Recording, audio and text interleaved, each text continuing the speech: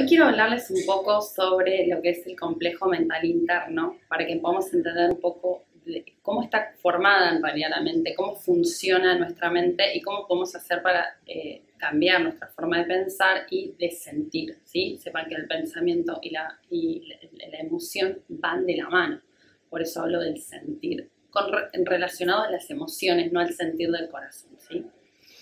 Entonces, nosotros básicamente lo que podemos hacer es dividir a la mente en dos, una mente externa y una mente interna. Hoy me voy a enfocar más que nada en la parte mental interna. La mente externa, a grandes rasgos, está formada por eh, nuestros cinco sentidos, que es a través de esos cinco sentidos que nosotros obtenemos información del mundo exterior y a través eh, del recibimiento, digamos, cuando recibimos esa información, la internalizamos, sacamos a través de nuestros órganos de acción información al exterior, podríamos decir, la manera en la cual nos relacionamos con, eh, el mundo. ¿no? Pero hoy vamos a hablar un poquito más sobre lo que es la mente interna. ¿sí? La mente externa, entonces, son los órganos de los sentidos. La mente interna tiene eh, varias eh, partes y voy a hablarles desde la parte más densa a las partes más sutiles. ¿sí? Entonces, de lo más denso tenemos dos partes, una es el ego y otra es algo que se llama manas, y les voy a explicar qué son cada una de estas partes. El ego es aquello que nosotros, em, es como nuestra personalidad. Y personalidad, la palabra personalidad quiere decir máscara. Y persona quiere decir, eh, digamos, como el sonido que emite esa máscara, o por dónde sale ese sonido que emite esa máscara. Con lo cual, el ego, si habla de la personalidad y de la persona, en realidad lo, que nos está diciendo es que no es nuestro verdadero ser. Bien, no es nuestro verdadero yo. ¿Qué sería entonces el ego? Son todos esos conceptos y creencias y em, condicionamientos que creemos ser. Es todo lo que fuimos aprendiendo a lo largo de nuestra vida en el momento en que nos dimos cuenta de que, bueno, más que nos dimos cuenta, empezamos a sentir que estamos separados del otro. En ese momento que, estamos, que empezamos a sentir, cuando somos niños, que estamos separados del otro, es cuando se empieza a construir este ego. Y lo importante de, de, reconocer el ego y de no identificarse con él es justamente que podemos superarnos, superar nuestras formas de pensar, nuestras creencias. Porque en realidad la creencia, cuando vivimos en base a creencias, que creencias básicamente quiere decir que frente a una situación que a mí me pasó, yo ahora, frente a situaciones similares, voy a actuar de la misma manera. Y eso justamente no es estar viviendo en el presente. Esta es una forma en la cual trabaja nuestra mente. Y así se forman lo que se llama samskaras y vasanas, que voy a explicar un poco de qué se trata todo esto. Entonces, eso es el ego, es nuestra personalidad, es nuestra máscara, es todo lo que en realidad creemos ser, pero que no somos. Y eso al final nos trae muchísimos condicionamientos porque no nos permite estar viviendo en el presente. Nos, vivimos en realidad, en realidad en relación a creencias que hemos construido a lo largo de nuestra vida frente a situaciones similares que nos pueden estar pasando el día de hoy. Eso es más o menos lo que es el ego y es parte de lo que es la mente inferior. Luego está manas. Manas es como mm, la parte de la mente que está todo el tiempo hablando. ¿sí? Si nosotros empezamos a meditar, nos vamos a dar cuenta que la mente es como que no frena. La mente está de un pensamiento a otro, va saltando de pensamiento en pensamiento, va yendo de un lado al otro. Y Manas es justamente eso, es la mente parlanchina, es la radio que no se apaga. Y si yo me identifico con ese pensamiento que va de acá, acá, acá, acá, y que al final ese pensamiento termina generando una emoción, con lo cual yo me estoy identificando con el pensamiento de la emoción, yo me estoy identificando con esa, con esa locura que es la mente, ¿no? que es totalmente inconstante, que es cambiable, que es variable y que genera emociones. ¿sí? Em, entonces, ego y manas son dos partes de la mente inferior Y es cuando yo recibo, por ejemplo, un estímulo externo a través de algo que yo estoy mirando, ¿no? A través de una noticia, por ejemplo.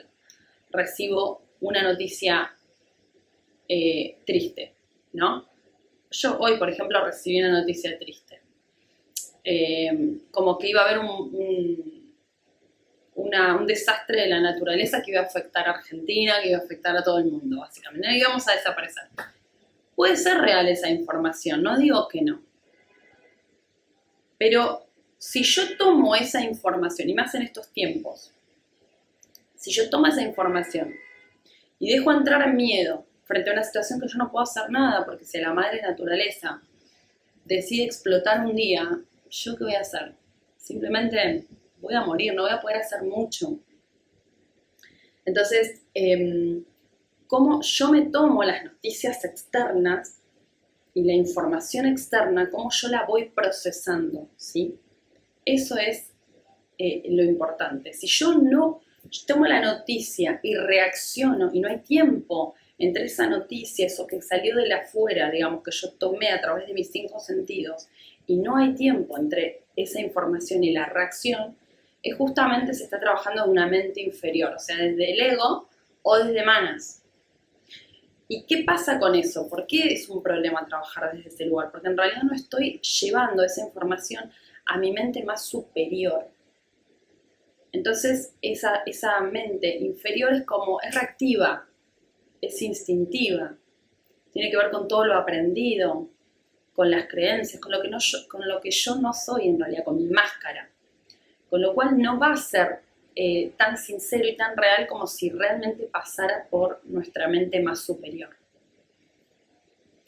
Entonces, si yo, por eso es importante igual entender que los cinco sentidos hay que bien utilizarlos para poder tener una información mucho más eh, amena que llegue a nuestra, a nuestra mente, ¿no? Eh, pero bueno, esto es, esto es muy importante. Entonces, mente inferior, manas y ankara o ego. Luego hay una puente entre lo que es la mente inferior y la mente superior que se llama buddhi, que es básicamente el intelecto, es eh, el poder de discernimiento. Buddhi está relacionado con el elemento fuego y es como que pone luz en aquellos lugares donde hay sombra. Entonces, cuando aparece el intelecto, cuando yo le doy lugar al intelecto a que razone y no doy una respuesta reactiva frente a ese estímulo. Yo estoy permitiendo que haya un puente entre esa mente inferior y esa mente superior cada vez que llega un estímulo desde afuera. Este intelecto va a poner luz en donde, en donde hay sombra. Es cuando ya nos damos cuenta de que nuestra forma de reaccionar es esta. Es cuando ya nos damos cuenta de que esta es nuestra creencia y que tenemos que trabajar en ella es cuando nos damos, empezamos a dar cuenta básicamente de nuestras sombras, de nuestro ego, de todo lo que nos ha dominado. Y hay, una, hay algo muy lindo que vi hace unos días, eh, justamente que tiene que ver con esto, que la revolución y que la liberación no depende de liberarme de un gobierno, de liberarme de un Estado, liberarme de mm, de los impuestos o liberarme de una situación externa, sino más bien de liberarme de mi propia eh, cárcel que está eh, en esta mente inferior, que nos limita, que nos condiciona por todas las creencias que nos hemos ido armando y todo ese conjunto de caparazones, todos eh, esos pensamientos que al final formaron un caparazón en nuestra mente y en vez de darnos apertura a todas las posibilidades reales que tenemos, las cerramos en esas posibilidades que nos creemos que son únicas y posibles en nuestra vida. Entonces es muy interesante esta observación. Buddhi, cuando llegamos a la capacidad de discernir, de ver y de poner luz en toda esta oscuridad, tenemos la posibilidad de acceder a campos superiores de la mente. Y el campo más superior de la mente, luego del Buddhi, es Chitta. ¿Y qué es Chita? Chita es ese espacio, de hecho está relacionado con el elemento éter o el espacio, en donde hay justamente espacio. ¿sí? No es esa mente loca que no tiene espacio, que tira un pensamiento y tira otro. Es un espacio y de hecho se localiza en el corazón. es nuestra verdadera sabiduría, son nuestros eh, registros akáshicos, eh, es la, información que nosotros traemos como, como seres que somos, ¿no? La información de todo nuestro árbol genealógico, la información de nuestro karma, de nuestro dharma, de por qué estamos acá, eh, por qué vinimos aquí. Ahí ya sé toda la información que nosotros tenemos de nuestro ser. Es realmente la conexión con quien verdaderamente somos. Ese espacio en la mente que encima no está en la cabeza, está en el corazón y se llama chita. Entonces esto es lo re interesante de eh, conocer la mente para poder empezar a discernir eh, si estamos realmente trabajando desde el ego, desde manas, o estamos realmente más abiertos, con mayor apertura, conectando con nuestro Buddhi, con nuestro intelecto, que a mí también me gusta llamarlo un poquito como ser superior, ¿no? Con ese ser que realmente sabe, que mira las cosas desde más arriba como si fuera una vida.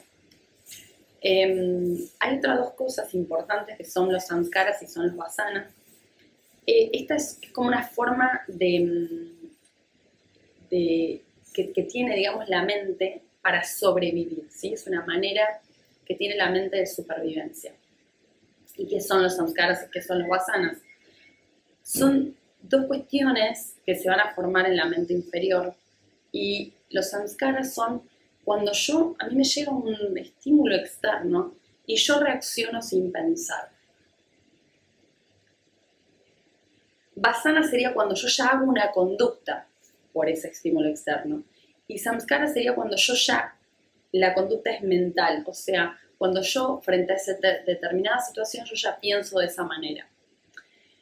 En nuestra mente o en nuestro sistema nervioso se forman ya canales de pensamiento en donde es como si fuera pasar una vía de un tren y eh, frente a un mismo estímulo o un estímulo similar, se va a generar la misma forma de pensamiento. Eh, cuando solamente compromete el pensamiento se llama samskara y cuando además ese pensamiento lleva a una conducta se llama vasana. ¿Y cómo me doy cuenta que yo estoy en un samskara o en un vasana? Porque generalmente es una reacción en donde no hay libre albedrío. Yo no elegí cómo pensar, yo no elegí cómo actuar. Y frente a ese estímulo externo no hay tiempo entre una cosa y la otra, no existe tiempo, yo no refrené. Cuando no doy, no me refreno y simplemente actúo, lo que estoy haciendo es reaccionando desde mi mente más inferior. Y ahí salen los samskaras y los vasanas. Entonces, hace poquito me dijeron, y mucha gente en realidad me lo dice a esto, como que ya condicionan su vida. No, mira, porque a mí cuando yo era chiquitito sufrí mucho. Entonces yo ya no puedo perdonar, porque yo sufrí mucho. O yo ya soy grande, ya tengo 70 años y ya tengo hábitos y formas de vida. Ya no lo puedo cambiar. Y esto a mí me hace acordar algo que me dijeron muy sabiamente mis guías, que fue, Flor, vos te tenés que correr de vereda, de vereda. tenés que cruzarte de vereda. Cuando me dijeron esto, lo vi claramente. Digo, qué sencillo que me lo pusieron. Así que yo se los voy a contar a ustedes porque puede servirles. Cruzarte de vereda. Yo lo entiendo de la siguiente forma. Hay una calle y hay dos veredas. En una vereda es la vereda del miedo. El miedo es una vibración que va a generar sentimientos de tristeza, soledad, eh, frustración, enojo, ira. Bien. Y del otro lado está la vereda del amor, que es otra vibración que genera paz, alegría, felicidad, contentamiento, compasión. Cuando yo estoy en esta vereda, que es la vereda del miedo, yo no me voy a sentir bien. De hecho, una forma de darte cuenta que estás en esta vereda es porque no te estás sintiendo bien. Cuando tenés este tipo de pensamientos se generan emociones negativas que no te van a hacer sentir bien. Si tú estás presente, te vas a dar cuenta que estás en esta vereda. Entonces, instantáneamente que te das cuenta que estás en la vereda del miedo, simplemente cruzas a la otra vereda. Es un paso. ¿Y cómo cruzas? Cortando esa manada de pensamientos que en realidad no sos vos, porque viene de la palabra personalidad, viene de lo que se creó en manas y ego, o ankara, que tiene que ver con la personalidad, o sea, una máscara. Entonces, cada vez que vos te sientas mal, tenés que preguntarte, ¿qué estoy pensando? Ahí te vas a dar cuenta que estás en la vereda del miedo. Simplemente cortas, refrenas toda esa cascada de pensamientos sin sentido que te están haciendo sentir mal y te cruzas a la vereda de enfrente. ¿De qué forma? Cancelando todos estos pensamientos que te pusieron mal y generando pensamientos positivos distintos y contrarios y en presente. Por ejemplo, dándote cuenta lo valiosa que es tu vida, agradeciendo el día a día, agradeciendo estar vivo, agradeciendo la experiencia de estar vivo, em, agradeciendo todo lo que tenés, em, aceptando lo que tenés y aceptando lo que no tenés. Espero que te sirva esta información. Si resuena, ayúdame a compartir